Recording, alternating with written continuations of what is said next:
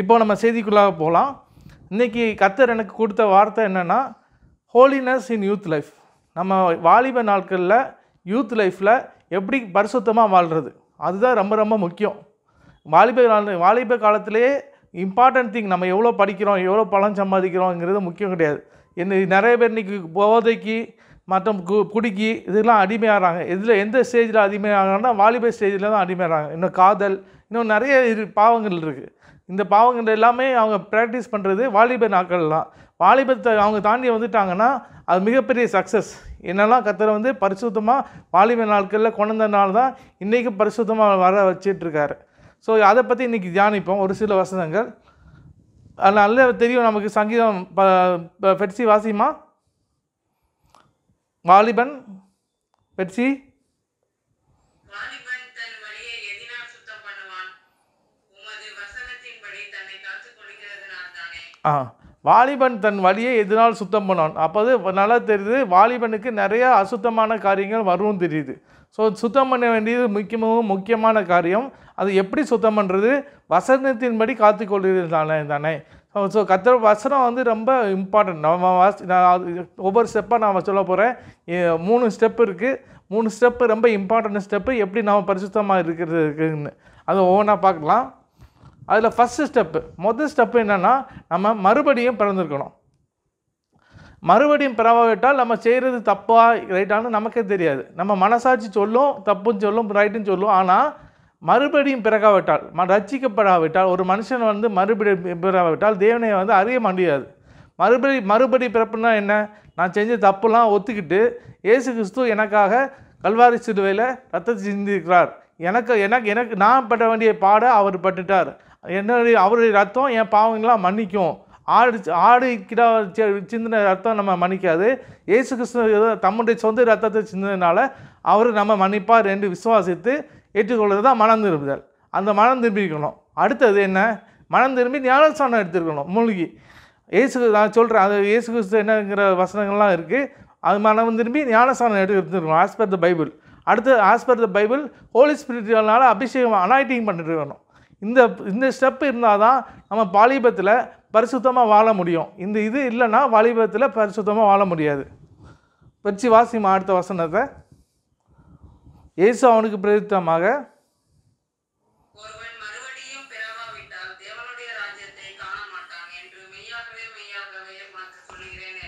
So இதில் வந்து கர்த்தர் தெளிவாக சொல்லிட்டாரு ஒருத்தன் மறுபடியும் பிறவாவிட்டால் தேவனுடைய ராஜ்யத்தை அவன் வந்து காண மாட்டான் தேவனுடைய ராஜ்யம்னா என்னன்னே அவனுக்கு தெரியாது. இந்த உலகம் மட்டும்தான் தெரியும். உலகம் இருக்குது அவனுக்கு மட்டும்தான் தெரியும். தேவனுடைய ராஜ்யம் இந்த உலகத்தில் ஒன்று இருக்குன்னு அவன் கண்ணால் காண முடியாது. ஆனால் என்னைக்கு அவன் ரட்சிக்கப்படுறானோ என்னைக்கு மறுபடியும் பிறக்கிறானோ அன்னைக்கு தான் அவன் அறிஞ்சிக்கிறான். அடுத்த வசனம் வாசிக்கலாம். அடுத்த வசனம் வாசிக்கலாம்.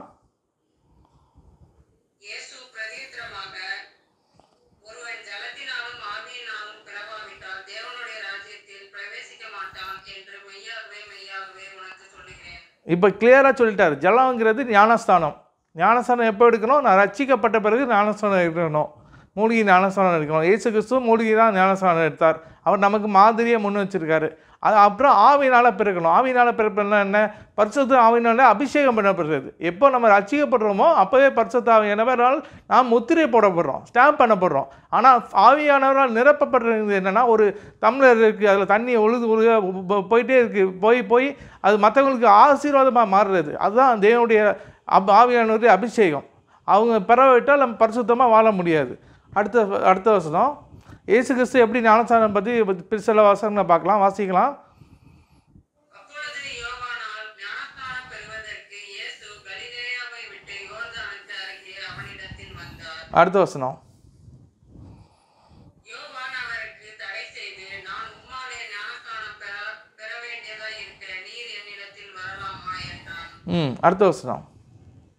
இயேசு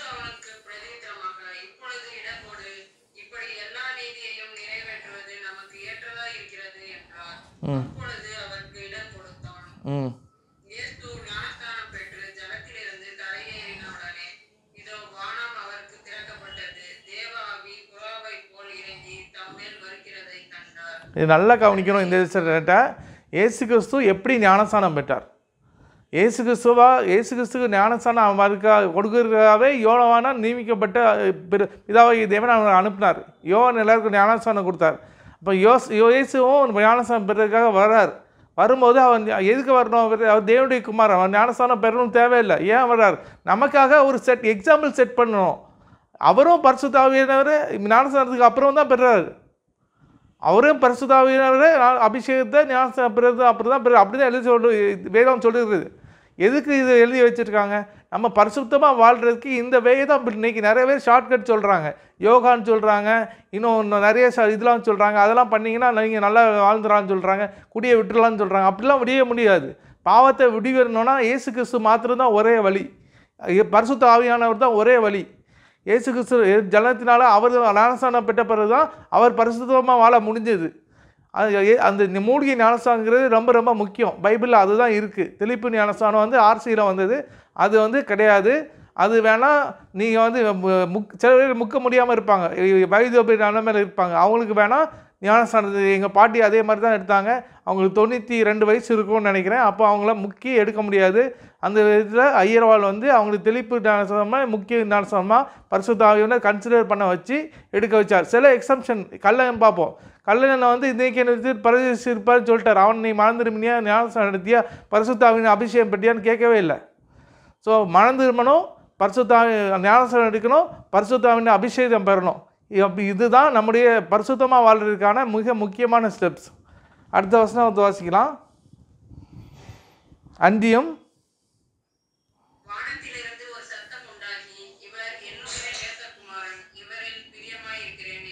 ஆ என்னைக்கு நம்ம கத்தருக்கு ஒபே பண்ணுறோமோ அன்னைக்கு தான் நம்ம இயேசுக்கு தேவனுக்கு நேசகுமாரன் ஆகிறோம்.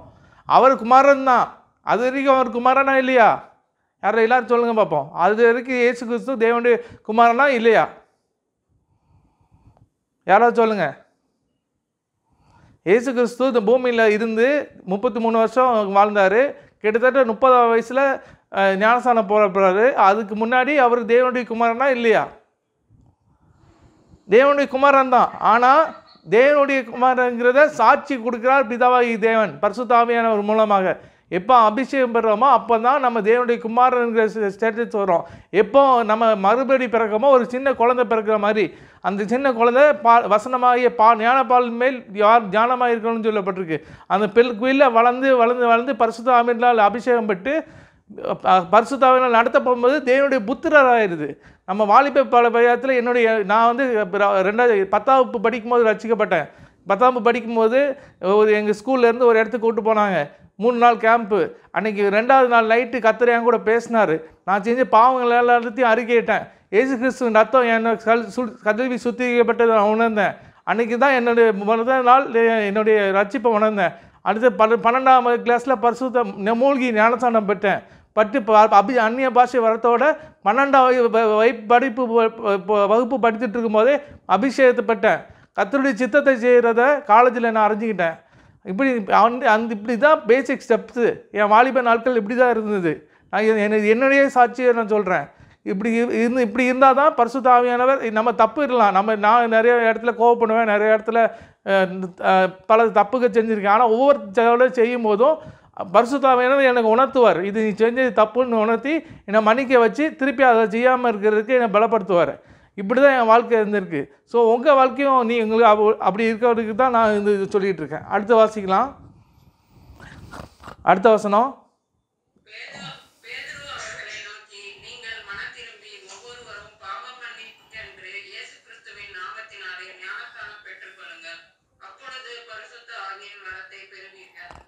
நல்லா கவனிங்க. பேதுரு மொதல் பரிசுரகம் பண்ணுறாரு இயேசு கிறிஸ்து மறித்து உயிரோடு எழுப்பி விட்டு பெரிய வருத வாசத்தில் உட்கார்ந்த பிறகு பெந்தை கோஸ்து இன்னும் நாள் வந்தப்போ மாடியில் நூற்றி இருபது பேர் சேர்ந்து ஜோம் பண்ணுறாங்க அப்போ பரிசுத்த ஆவியானவர் என்ன செய்யப்படுறாரு? ஊற்றப்படுறாரு. அப்படி ஊட்டப்படும் போது பேது எல்லாரும் இவங்க குளிச்சு வச்சிருக்காங்கன்னு சொல்கிறாரு அப்போ பேதர் எல்லா திஷ்டாங்களையும் சொல்கிறாரு அந்நிய பாஷை பேசுகிறது இதனால தான் யோவேல் தீர்க்கதரிசனம் சொல்லப்பட்டிருக்குது தீர்க்கதரிசனம் சொல்லுவார்கள்னு சொல்லப்பட்டிருக்கு. எல்லாத்தையும் சொல்லிவிட்டு அப்போ வந்து அவங்க கேட்குறாங்க நாங்கள் என்ன செய்யணும்னு கேட்குறாங்க அதற்கு பேதூர் சொல்கிறார் நீங்கள் மனம் திரும்பி. நான் அதுதான் சொன்னேன் ஃபஸ்ட்டு ஸ்டெப் மனம் திரும்பி. ஒவ்வொரு மாறும் பாவ மன்னிப்பு கண்டு இயேசு கிறிஸ்து நாமத்தினாலே ஞானஸ்தானம் பெற்றுக்கொள்ளுங்கள். அப்பொழுது பரிசுத்தாவின் வரத்தை பெறுவீர்கள். மனம் திரும்புங்கள் பாவ மன்னிப்பு கண்டு இயேசு கிறிஸ்தாவில் ஞானஸ்தானம் பெற்றுக்கொள்ளுங்கள் பரிசுத்தாவின் வரத்தை பெறுங்கள். இதுதான் முதல் ஸ்டெப்பு நம்ம பரிசுத்தமாக வளர்கிறதுக்கு அடுத்தது செகண்ட் ஸ்டெப்பு ஸோ இதை நான் வந்து ஃபஸ்ட்டு ஸ்டெப்பு தான் ரொம்ப டீப்பாக போயிருக்கேன். செகண்ட் ஸ்டெப்பு வந்து நம்ம ஃப்யூச்சரில் நம்ம வந்து டீட்டெயிலாக பேசலாம். ஆனால் நான் உங்களுக்கு சொல்லி கொடுத்துட்றேன். என்ன தான் ஸ்டெப்புங்கிறத சொல்லிடுறேன். செகண்ட் ஸ்டெப் என்னென்னா ஒபேயிங் காட்ஸ் வேர்ட் நம்ம தேவனுடைய வார்த்தைக்கு கீழ்ப்படியணும். அடுத்தது சப்மிஷன் டு காட் நம்ம வந்து தேவனுக்கு ஒப்பு கொடுக்கணும். நம்ம வந்து இது சொல்லப்பட்டிருக்கு நீதிமா நம்ம நீதிமங்களாக்கப்பட்டோம் பரலோ பிதாவாகி தேவன் வந்து தம்முடைய பரிசுத்த நமக்கு கொடுத்துட்டாரு. அதனால் நம்ம நீதிமான்கப்பட்டோம். அப்போ நம்ம மாம்சத்தில் பாவம் செய்கிறதுக்கு ஆப்ஷனும் இருக்குது அப்போ நம்ம ஒப்பு கொடுக்கணும் டெய்லி கால்கிட்ட டெய்லி வந்து ஒப்பு கொடுக்கணும். நம்ம யாருக்கு ஒப்பு கொடுக்கோம் பிசாசுக்கு ஒப்பு கொடுத்துருக்கோமா? சரீரத்துக்கு ஒப்பு கொடுக்கோமா இல்லை ஆவியானவருக்கு ஒப்பு கொடுக்குறோம் பொறுத்து தான் பரிசுத்தம் இருக்குது ஆவியானவருக்கு ஒப்பு கொடுத்தா பரிசுத்தமாக வாழ முடியும். அதுதான் சொல்ல வர்றேன். ஸோ இதை பற்றி நான் டீட்டெயிலாக நம்ம ஒரு நாள் பேசலாம். ஆனால் இதை வந்து உங்களுக்கு சொல்லி ரெண்டு பாயிண்ட் நோட் பண்ணிங்க ஒபேயிங் காட்ஸ் வேர்ட் கத்தருடைய வார்த்தையை வந்து அப்படியே வந்து எடுத்து ஒபே பண்ணுறணும் அது ரொம்ப இம்பார்ட்டன்ட் அப்போ நம்ம ரெண்டு ஒரு வசனத்தை வாசிக்கலாம். வாசிங்க. அடுத்த வசனம் வாசிங்க. இந்த சங்கதிகள் குறித்து.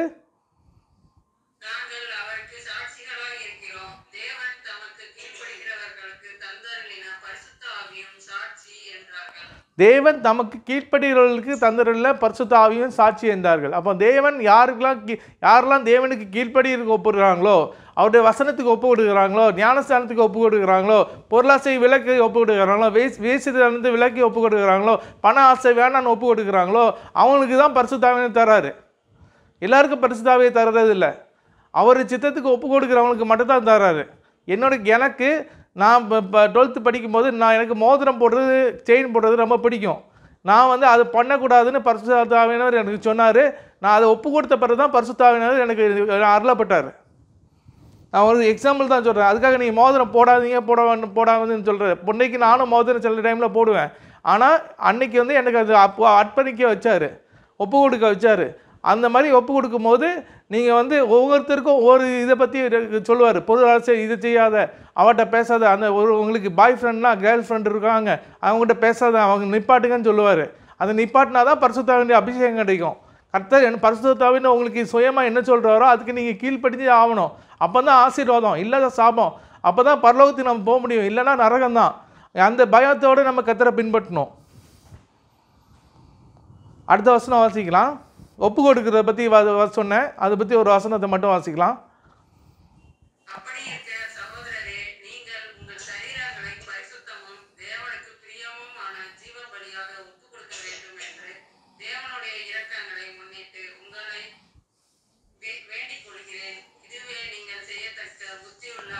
ஸோ நம்ம சரீரம் வந்து பாவம் நிறைந்தது. நம்ம சரீரம் வந்து ஆதாம் இருந்து உள்ளது பாவம் நிறைந்தது. அது நம்முடைய மாம்ச இச்சது தூண்டும். அதை தேவனுக்கு ஒப்பு விடுக்கணும் அதுதான் முக்கியமான ஆராதனைன்னு சொல்லப்பட்டிருக்கு இந்த வசனத்தில். இந்த ஆராதனை தான் நம்ம பாடலாம் ஆடலாம் அதெல்லாம் வேறு ரெண்டாவது ஆராதனை தான்.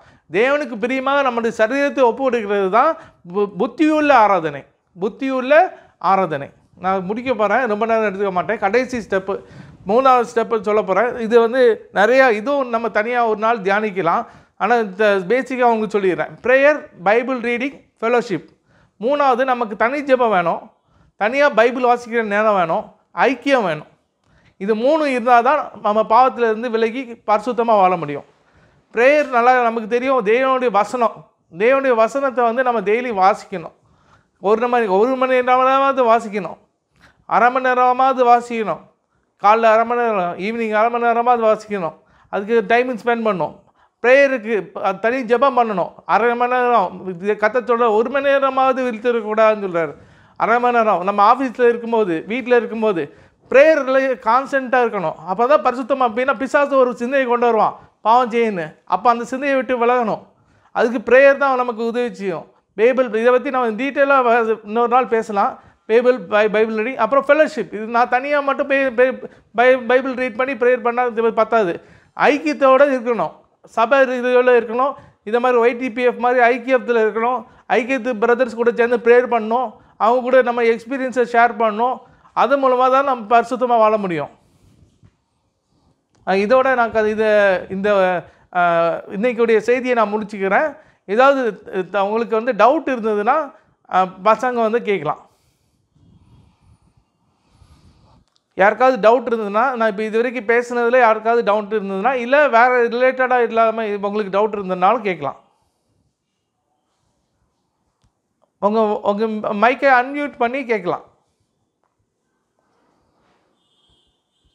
இல்லைன்னா நான் கொஸ்டின் கேட்கவா? நானும் அவர் கற்றுக்கிட்டனால அசிஸ்டன்ட் ப்ரொஃபஸர் தான். நான் சொன்னது இப்போ புரிஞ்சிருக்கும்னு நினைக்கிறேன் மோஸ்ட் ஆஃப் த பீப்புளுக்கு கேமரா எடுங்க. அந்த கேமரா எடுங்க. எல்லாமே எப்படி இருக்காங்க சொன்னா வந்து சண்டே வந்து ரொம்ப ஹோலினஸா ஃபீல் பண்றாங்க ஹோலியா இருக்காங்க ஆனா மத்த நாட்கள்ல வந்து அதை மெயின்டைன் பண்ண முடியல. அதுக்கான நடைமுறை சத்தியங்களை எதுனா கொஞ்சம் சொன்னா நல்லா இருக்கும். அது என்ன Sunday இருக்கிற அதானே இப்போ இப்போ இது அதுக்கு நடைமுறை இது என்னென்னா நான் நான் படிக்கும்போது நான் என்ன பண்ணேங்கிறத சொல்கிறேன் நமக்கு ஸ்கூலில் நான் இருக்கிற போது அட்லீஸ்ட் ஒரு ரெண்டு பேராவது இருப்பாங்க. நம்ம லைக் மைண்டடாக இருப்பாங்க. அவங்க கூட சேர்ந்து ப்ரேயர் பண்ணணும். பைபிள் வச்சு ப்ரேயர் பண்ணணும். ஃபெலோஷிப் வச்சுக்கணும். ஏசு கிறிஸ்து வந்து பன்னெண்டு பேர் கூட இருந்தாங்க. அதனால தான் அவர் வந்து அவ்வளோ பெரிய ஊழியத்தை செய்ய முடிஞ்சுது. நம்மளால் தனியாக எதுவும் செய்ய முடியாது. தனியாக பரிசுத்தமாக வாழவே முடியாது. ஒரு இடத்துல ஒரு காலேஜ் போகிறோம் இல்லை ஸ்கூலுக்கு போகிறோன்னா நமக்கு ஆல்ரெடி ரெண்டு மூணு ஃப்ரெண்ட்ஸ் இருப்பானோ அவங்க கூட நம்ம சேர்ந்து ப்ரேயர் பண்ண நான் ஸ்கூல் டைம்லலாம் சேர்ந்து ப்ரேயர் பண்ணுவோம். காலேஜ் டைமில் எனக்கு ஒரு கிறிஸ்டின் ஃப்ரெண்ட் இருந்தார். அவர் கூட சேர்ந்து ப்ரேயர் பண்ணுவோம். இப்போவும் நான் நான் வேலை பார்க்குற இடத்துலையும் எங்களுக்கு ஃப்ரெண்ட்ஸ் இருக்காங்க. அவங்க கூட சேர்ந்து ப்ரேயர் பண்ணுவோம். இப்படி டெய்லி ப்ரேயர் பண்ணுறதுனால தான் பரிசுத்தத்தை காலத்துக்கு கொள்ள முடியும் தானே.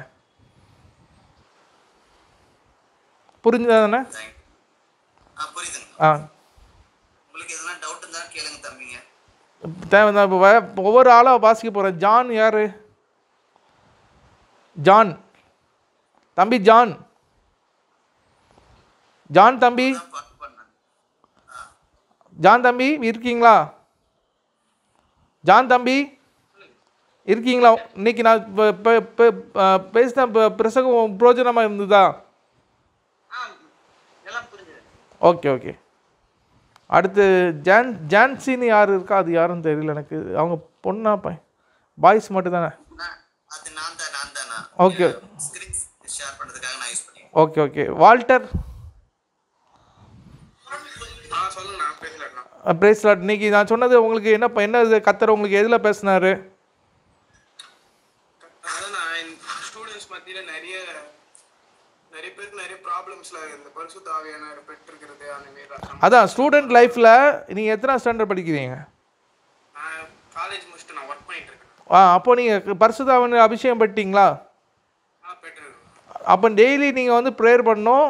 உங்களை மாதிரி இருக்கிறவங்க கூட சேர்ந்து ப்ரேயர் பண்ணணும். அப்படின்னா தான் பரிசுத்தமாக வாழ முடியும்.